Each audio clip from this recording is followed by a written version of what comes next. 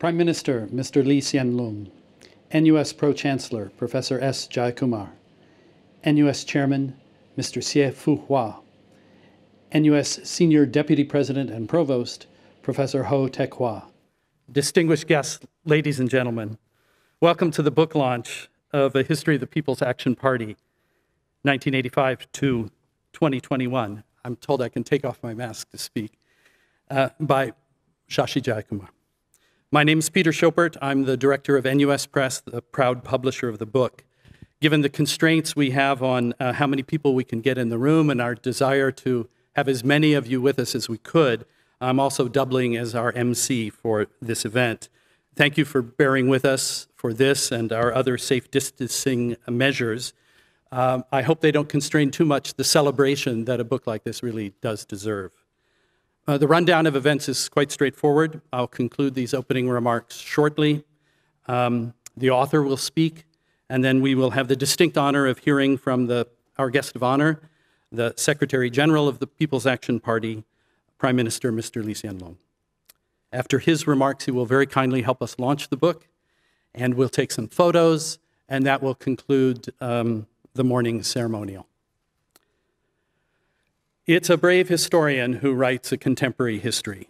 That historian is brave on at least two fronts. First, the contemporary historian writes about people who are very much with us. You will see in the book that interviews form a very important source uh, for the book. And of course, interviewees have their own views, and they can read what you've said about them. They can answer back. They might even be in the room when you launch the book. They might even be invited to launch the book for you. Secondly, the contemporary historian must give a judgment on events as they are still current, as they are playing out. Uh, there may be breaking news just as one is forced to send the proofs to the, to the printing press. Uh, as you may know, we postponed the book from its initial announcement date as Shashi's short afterward, uh, mentioning the 2020 general election, turned into a fully fledged chapter. Uh, the contemporary historian is continually chasing after the march of time. So that's our endpoint the aftermath of the 2020 general election, the first six months of 2021. The book begins in 1985, in the aftermath of the December 1984 general election, and also at that around the same time, the announcement of the plans for the succession of Mr. Lee Kuan Yew as prime minister. Many of you will remember that period well. As it happens, I, do too, having arrived in Singapore in 1984 on a fellowship to study Singapore politics here at NUS. So I remember that, that sense of what was going to happen, of change. As a young graduate student, my orientation to Singapore politics and the People's Action Party was heavily influenced by a book written by Professor Chan Heng Chee, The Dynamics of One Party Dominance, the PAP at the Grassroots, which was published some years earlier by Singapore University Press, and I purchased a copy soon after arriving. I mentioned Prof. Chan's book partially to give a genealogy to Shashi's effort of writing the history of the party. Of course, he, he cites it. But also to give a genealogy to the publication of Shashi's book by the University Press of our national university. The book we launched today is just the latest book published on the region and on the history and politics uh, that go in a line actually back to the days of the University of Singapore and before at the University of Malaya. Uh, NUS Press is the heir to a publishing operation that began in the 1950s. Uh, the university at that time held the conviction that a nation to be needed to grow its own publishing, uh, needed to have the means for creating and certifying knowledge. After all, that's what publishing, academic publishing is. And disseminating that knowledge to the world, of course, but also publishing for Singapore responding to Singapore's own values and priorities, having a platform to decide, to choose one example, what words like democracy might mean for Singapore and for our own situation here. I'll stop there. You're not here to listen to me, certainly not when the author and our distinguished guests of honor are next. I thank you very much for your politeness and your patience. It remains for me only to say that while NUS has very generously purchased a copy of Shashi's book for you, our guests, uh, and he's very generously inscribed them. There are more copies uh, available for sale outside at a specially discounted price. So don't miss your chance. Ladies and gentlemen, let me introduce to you Shashi Jayakumar. head of the Center of Excellence for National Security at the S. Rajaratnam School of International Studies. When you read the book, I believe you will agree with me that though he's a scholar trained in medieval history, and though in his day job he writes about current events and issues on the horizon, he has managed the task of writing a history of the last 36 years with exemplary balance, judiciously, and with considerable flair. Ladies and gentlemen, I give you the author of A History of the People's Action Party, Dr. Shashi Thakur.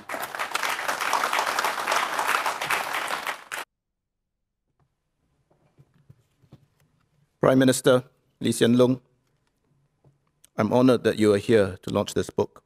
Mr. Ong Pang Boon, the earliest organizing secretary of the PAP and former minister, retired and serving MPs comrades, NUS Pro Chancellor Prof. Jayakumar, NUS Board Chairman Mr. Hsieh Fu Hua, NUS Senior Deputy President and Provost Mr. Prof. Ho Teck Hua, dear friends and family who have made the time, thank you sincerely for coming to this launch.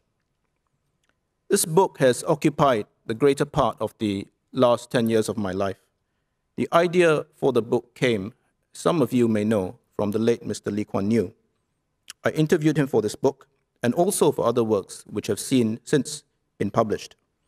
He was, even in the last years of his life, constantly thinking about the future of Singapore, about what impact world events would have on us. His life's work was Singapore.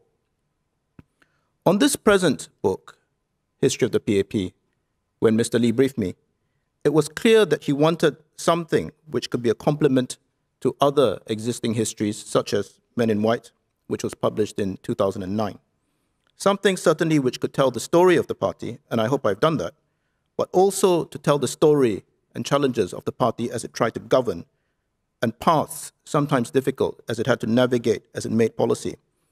And he wanted people young people in particular, to understand these things. I'm deeply sorry that the book was not complete when Mr. Lee was still with us. I would say one thing, more as a personal observation. As I dived deeper into the sources and spoke to more people, this became a personal voyage of exploration for me. My own views began to change, to be refined somewhat, and in some areas, when it came to people, and in other areas when it came to institutions or policies. There are many themes and ideas in this book, and I do not have time to enumerate on all of them. I also hope you will read the book. But I did briefly want to highlight two points. And the first is renewal. This is felt to be an urgent imperative. From the very beginning, party files show that Mr. Lee was thinking about the issue at an extraordinarily early point from the early 1960s, in fact.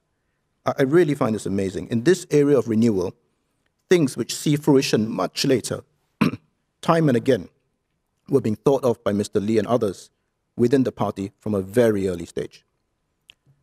The second is responsiveness.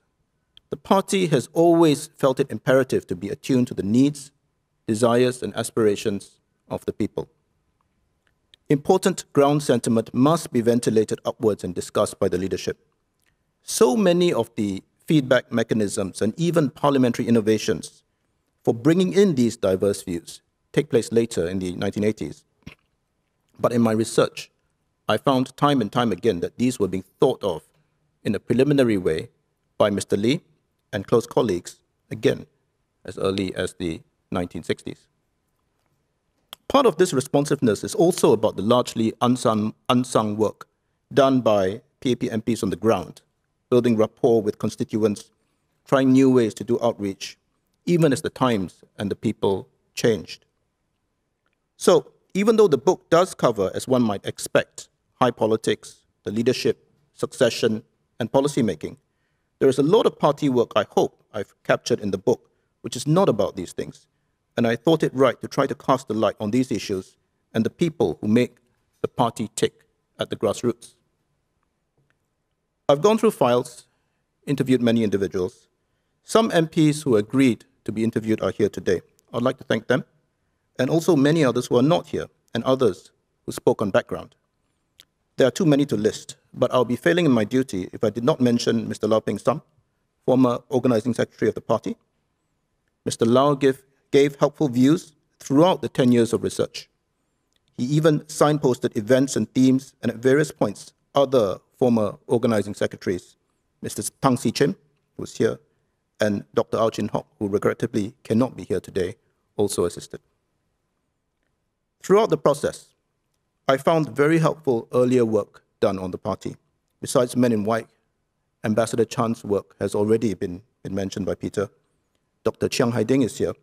He has edited with Rohan Kamis an extremely readable book, We Also Served, which has reflections and remembrances by PAP MPs. I sincerely hope that more work of this type will be done on the party. There is a feel, I feel, a lot more that can, can be said. I mentioned those interviews that I conducted with various individuals. There are some who prefer not to speak for various reasons, and I respect this. But I still hope in time to come, more will step forward to tell their own personal stories, and perhaps to write themselves, lest the part they played be forgotten. The PAP story, like the Singapore story, is continually evolving. A future historian in time to come will no doubt tell the next leg of the party's story using new accounts and new sources and tell of how the party has adapted to new challenges.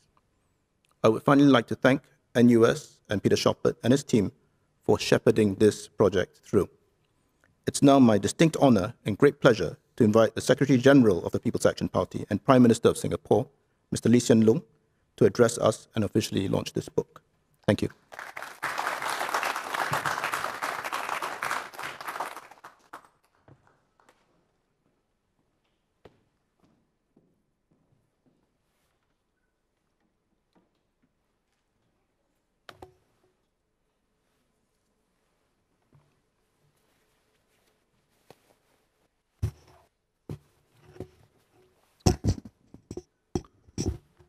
Professor S. Jayakumar, Pro-Chancellor of NUS, Mr. Hsieh Fu Hua, Chairman of NUS, Professor Ho Teck Hua, Senior Deputy President and Provost, distinguished guests, ladies and gentlemen.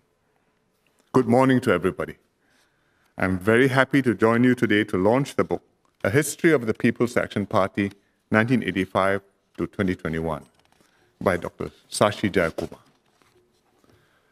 The book tells the story of the PAP, not from its foundings or early beginnings, but beyond the initial years of struggle for independence and the first two decades of nation building. In fact, the book starts from 1985. Why 1985? Those familiar with Singapore's history will recognize the year as a turning point in our political development.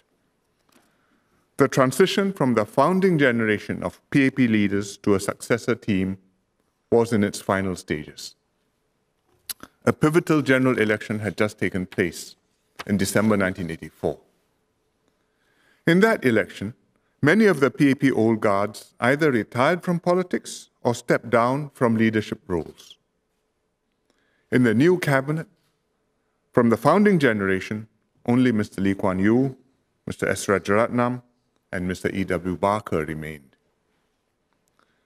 After the election, the younger ministers chose Mr. Goh Chok Tong to be their leader, and he became the first deputy prime minister. A record number of fresh faces, 24 new MPs, were brought in, including quite a few who eventually formed the 3G leadership team, and I was one of them. The 1984 general election witnessed not just a transition in the leadership, but also a generational change in the electorate. The PAP's vote share fell sharply by 12.9 percentage points. For the first time since independence, the party received less than 70% of the total votes. Two opposition candidates were elected Mr. J.B. Jeyaretnam in Anson, re elected, and Mr. Chiam See Tong in Potong Pasir for the first time. At the post election press conference, Mr. Lee interpreted the election results using a biblical reference. He described it as the inevitable transition from the independence generation to a new generation of voters who knew not Joseph.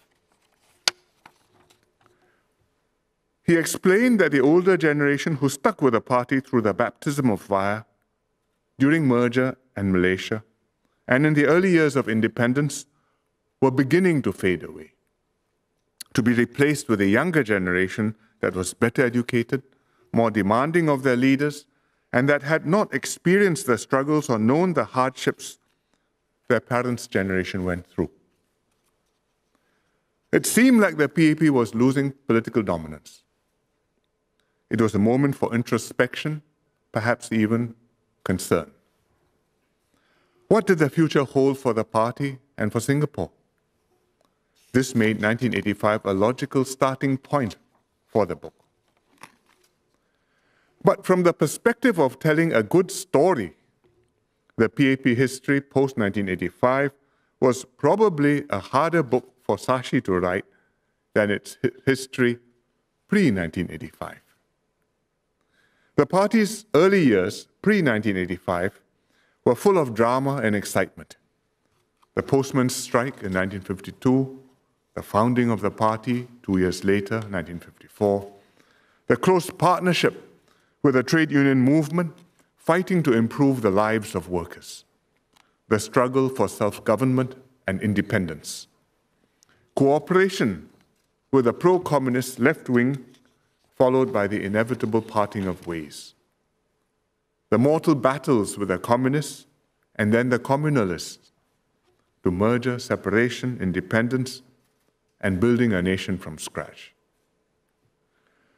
Whereas the post 1985 story has been one of relative calm and stability. Year after year, Singapore continued to sustain its strong growth and rapid transformation. We stayed cohesive and united as a nation. We carried out two leadership transitions smoothly from the 1G to the 2G, then from the 2G to the 3G. There was steady progress, but not so much thunder and lightning. If someone made a movie out of the PAP story, you might be forgiven for overlooking the sequel. But in its own quiet way, this later part of our history was no less momentous or remarkable. Imagine being back in 1985, crystal ball gazing what the next 35 or 36 years had in store for Singapore. Many were anxious about the leadership succession about more fractious politics, about significant changes to leadership direction and government. After all this had happened in many countries which came into being after the war, a decade, a decade or two earlier than us, like in India, Israel, or Korea, beyond their founding generations. Others even predicted the failure of the Singapore model.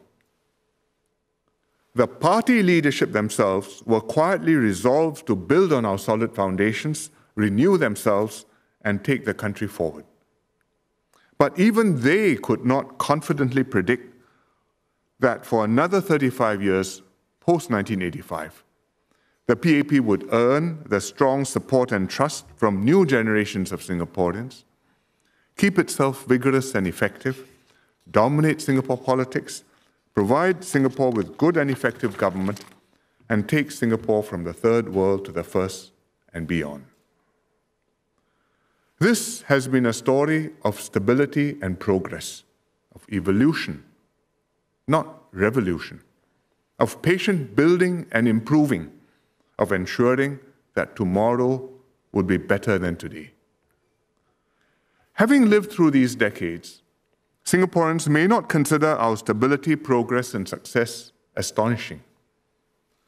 But in fact, this was hardly predicted, much less foreordained. Far from it. It didn't happen by itself, nor has it happened in very many other countries. And yet, it happened in Singapore. How did Singapore manage to achieve this? The PAP is an important part of the explanation. This is what makes the party's history from 1985 to 2021 a story well worth telling and understanding. Shashi's book explains how the PAP has sought to build a cohesive society in Singapore, build understanding and consensus across different groups, and improve the lives of Singaporeans across the board. It analyzes how the PAP government has reached out, engaged, and listened to the people, adapted policies to address Singaporeans' changing needs and to fulfill their rising expectations, work to deliver high standards of living, healthcare, how education, and housing, created well paying jobs and better futures, and sustained this performance year in and year out, in good times and bad. And in doing so, earned the trust and mandate of the people and kept the virtuous spiral going another turn upwards. This book recounts how the PAP continuously transformed and renewed itself over the decades. It reorganized the party to strengthen its close ties to the people it scouted, inducted, and groomed potential leaders with the right skills and values and with diverse experiences and perspectives, while staying true to its core values of honesty, incorruptibility, and competence. This book also brings us behind the scenes where decisions were made. And it covers the internal debates within the party, the difficult choices and trade offs, the reflections from our successes and failures. I must not give too much of the book away. Instead, I encourage you to read the book yourselves and learn more about the history of the PAP and Singapore. Much credit for the book goes to Sashi for putting everything together systematically and cogently. His PhD was in medieval history, but I'm glad he took up this project to study the contemporary history of Singapore. He understood the seriousness of the task having been charged with it by Mr. Lee Kuan Yew himself. And his policy experience in the civil service came in useful to contextualize and interpret the research materials. Shashi invested enormous time and effort over 10 years to research and write this book. He thoroughly reviewed party materials and government documents from the National Archives. He interviewed over 60 PAP leaders from the Central Executive Committee and HQ co members to backbenchers and PAP activists. Shashi, a big thank you for chronicling the PAP journey and writing a history that befits the significance of the subject.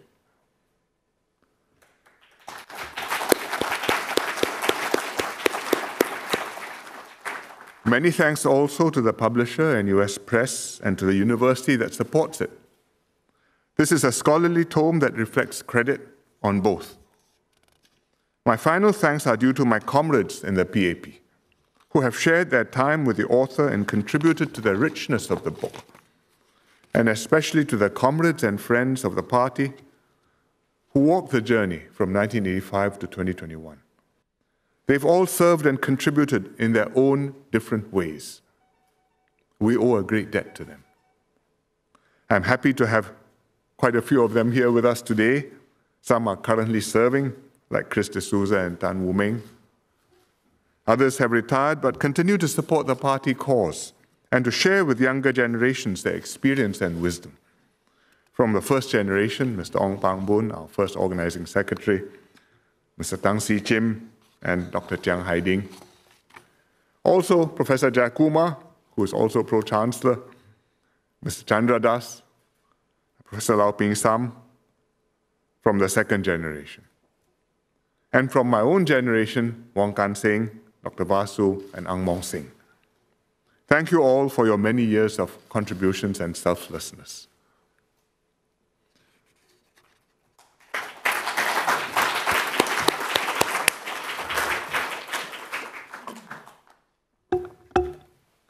The book ends just after the 2020 general election neatly taking us one full circle since 1985.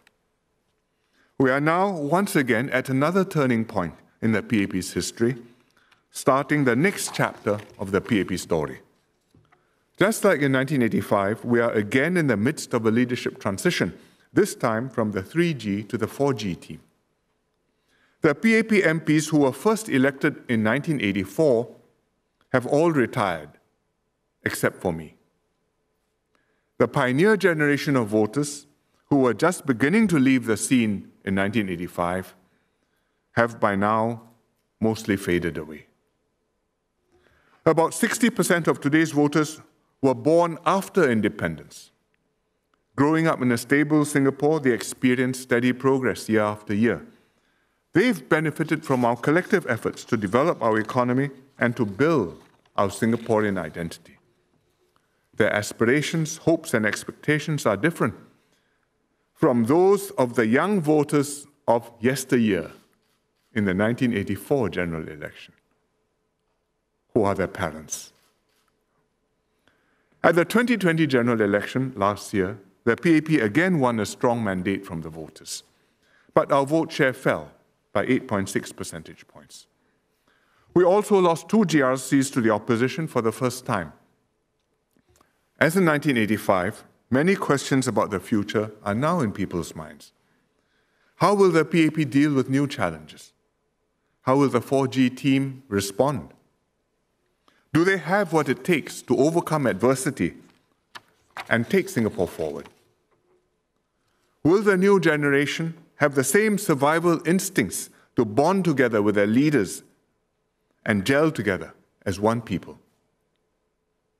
I hope this book will provide a sense of history and perspective to the journey that we've traveled in the past decades, help readers to appreciate how Singapore has achieved what it has done, but most importantly, inspire the next generation, party activists, party leaders, and Singaporeans alike, to be equally committed, resourceful, and resolute in pursuing a brighter future for Singapore. Just like in 1985, in 2021, no one can be sure what the future holds. The next 35 years will be quite different from the last, and we cannot simply take what's written in this book and transpose it into the future. Most fundamentally, our task is not to foretell the future, but to create it. The PAP continues to carry a heavy responsibility for Singapore's security, stability, and success. It must always work closely with Singaporeans to take the country forward. So that in 35 years' time, another historian writing another volume about the PAP will have as inspiring a story to tell of how the party continued to keep Singapore exceptional and successful through the decades.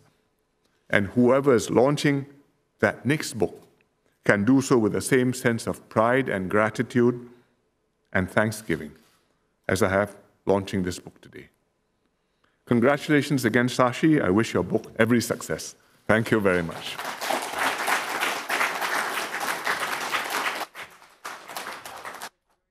Minister, if you'll remain on stage, uh, Shashi, Mr. Hsieh, if you join us to launch the book. With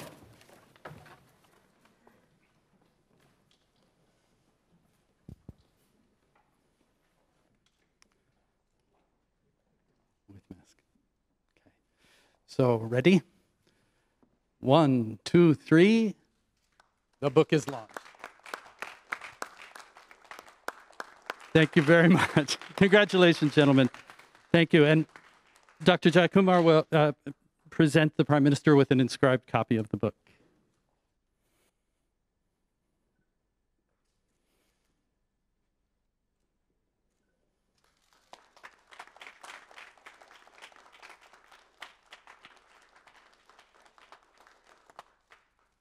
Prof. Please join us for the photograph to mark the occasion.